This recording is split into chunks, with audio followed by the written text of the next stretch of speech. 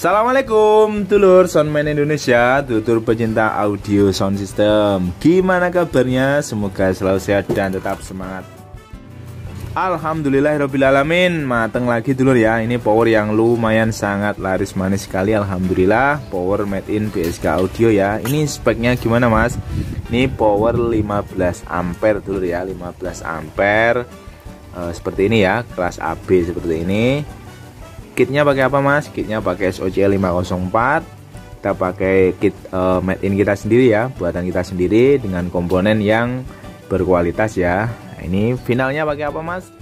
Kita pakai Sanken dulu ya. Kita pakai Sanken 5 set per channelnya. Kita pakai Sanken yang berkualitas ya. Kita pakai Sanken Super. Serinya apa mas? Kita pakai yang kita pakai yang 3858 dulu ya. Nah, seperti ini ya. Oke Tampilannya seperti ini dulu ya. Kita pakai trafo 15 ampere ya. Jadi ini power yang 15 ampere ya. 15 ampere 45 CT. 15 ampere ya, 15 ampere 45 CT. Seperti ini ya. Kita pakai trafo donat. Ini untuk elko-nya kita pakai 6 ya. Kita pakai 6 elko. 10.000 mikro 63 volt ya. Kita pakai 6 seperti ini ya. Ini kiproknya dan kita pakaikan PCB seperti ini ya. Ini soft start ini speaker protektornya. Seperti ini ya tampilannya. Seperti ini dulu ya tampak belakangnya. Nah seperti ini ya. Ini ada kipasnya. Ini ada view soldernya. Ini rumah sekring ya. Ini kabel AC nya ya. Kita pakai glen kabel seperti ini ya. Ini terminal speakernya. Dan ini speakon speaker konektornya Saran saya pakai yang ulir ini aja dulu ya, pakai terminal yang ini aja. Kenapa? Satu lebih kuat, duanya lebih meminimalisir konslet. Kira-kira seperti itu ya. Jadi pakai yang ini aja saran saya lebih e, bagus atau pakai spikon juga monggo. Ini kalau pakai spikon e, pinnya standar untuk power rakitan dulu ya. Jadi e, yang kita pakai itu e, pin 1 e, 1 plus dan 2 plus itu kita jadikan satu itu sebagai positifnya. Positif speaker ya. Satu min dan dua minnya itu sebagai kutub negatif speakernya. Pin yang standar buat rakitan ya. Biasanya yang plus sama plus itu dijadikan satu atau diparalel jadi positifnya speaker.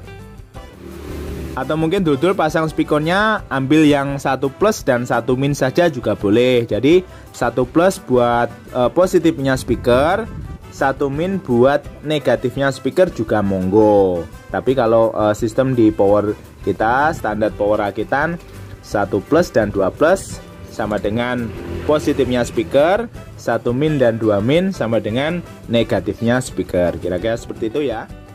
Ini dulu ya ini input channel A dan channel B dan ini link. Nah, ini apa mas fungsinya? Mungkin masih ada yang masih belum paham ya kita jelaskan ya. Jadi ini inputnya ya. Jadi inputnya pakai jack Canon dulu ya. Untuk inputnya pakai jack Canon ini channel A ini dan channel B ya. Jadi ini inputnya dan ini linknya. Fungsinya apa mas link? Nah link ini untuk uh, istilahnya itu yang link ya atau menjumper atau memparalel.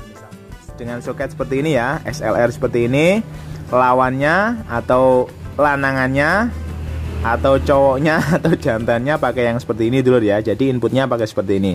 Kita tancapkan seperti ini. Celep? Oke. Nah ini inputnya sudah nancep ya. Nah ini misalkan kita mau memparalel input A ke input channel B. Tinggal kita paralel ngambilnya dari link ini ya. Nah, pakai cek seperti ini yang uh, cewek seperti ini ya yang betina. Cek female seperti ini kita tancapkan. Celep? Nah Nanti keluarannya ini kita tancapkan ke sini. Sorry ya, kita cabut dulu. Anggaplah ini sambungannya dulu ya. Jadi ini link dari channel A kita tancapkan ke channel B seperti ini. Channel B inputnya celep. Nah, ini sudah memparalel inputnya. Jadi cukup satu input saja di channel A. Input B-nya eh, dapat paralel ngambilnya dari link seperti ini.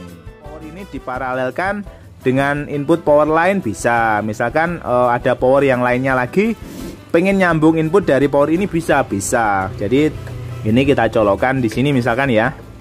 Nah, channel B ini linknya. Nah, ini katakanlah sambungannya ya maaf saya cabut. Uh, linknya ini kita keluarkan kita tancapkan ke power yang lainnya juga bisa. Jadi satu input bisa untuk dua power dan seterusnya karena ada linknya ini. Jadi fungsi dari link ini adalah untuk memparalel input. Sampai di sini kira-kira sudah paham ya ternyata memang masih banyak yang belum paham. Dan mohon maaf mungkin uh, di video-video sebelumnya uh, eh, BSK belum begitu mereview dengan sangat detail ya. Ternyata memang masih belum memahami fungsi daripada link. Semoga video ini uh, bisa untuk uh, ya buat tambahan ya. Mungkin dulur ada yang belum paham mungkin dengan video ini bisa paham ya. Jadi link ini fungsinya untuk memparalel input. Oke dulur kita pasang ya speakernya. Ini saya pakai jack banana seperti ini ya. Saya colokkan di terminalnya. Jadi terminal ini dua fungsi dulur ya. Bisa ditancapkan seperti ini ya. Pakai jack banana seperti ini atau mungkin kabel yang dibundel-bundel ditancapkan mungkin dikasih tusuk gigi atau pentol korek itu ya batang korek mungkin juga bisa kalau darurat. Namun saran saya yang paling kuat adalah di ulirnya ini ya. Kalau bisa mungkin pakai sekun saja. Kenapa pakai sekun? Biar rapi dan biar tidak kontak sama body ya seperti itu dulur ya. Ini dulur inputnya saya colokkan di channel A ini ya. Oke celep. Oke, untuk channel B-nya saya nanti mau ngelink ke channel A ini ya. Saya model rakitan seperti ini ya, jack Canon, mil dan female seperti ini. Nah, ini saya ambil dari sini link channel A ya, celep. Nah, ini yang channel B-nya yang ini saya tancapkan dari ini ya, dari linknya. Celep. Nah, seperti ini dulu ya. Jadi input B-nya sama input A ini paralel dulu ya melalui link seperti ini. Oke dulur kita nyalakan ge Bismillahirrohmanirrohim Pastikan volumenya selalu off ya. Ketika kita menyalakan power apa pun. Bismillahirrohmanirrohim Oke sudah klik-klik. Oke dulur cek sound ge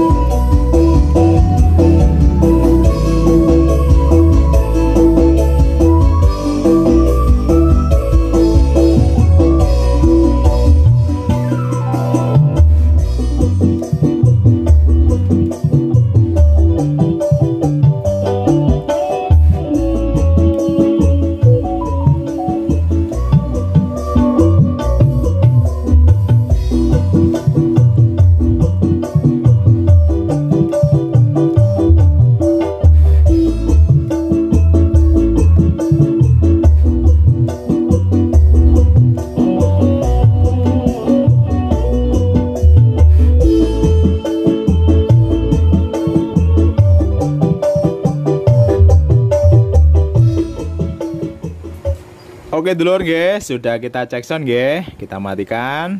Pastikan kita kecilkan volumenya, kita nolkan volumenya baru kita switch off uh, saklarnya ya.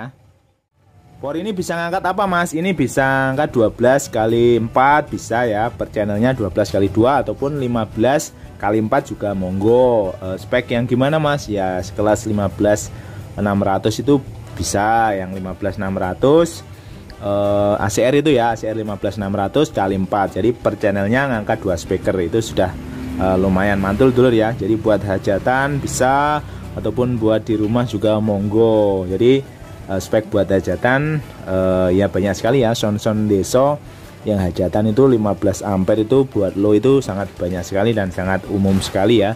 Biasanya ya 15 ampere kadang juga 20 ampere dengan final set uh, sunkennya yang rata-rata ya ada yang 4 set, ada yang 5 set dan sebagainya. Dan kitnya juga biasanya macam-macam kalau di kita kitnya pakai SOCL 504 seperti ini ya. Terima kasih itu dulur yang sudah menonton, tetap semangat. Bagi yang sudah order, terima kasih banyak. Semoga powernya awet dan bermanfaat. Amin. Terima kasih yang sudah menonton, tetap semangat, belajar terus, berkarya terus. Salam audio, salam desa, salam sukses. Assalamualaikum warahmatullahi wabarakatuh.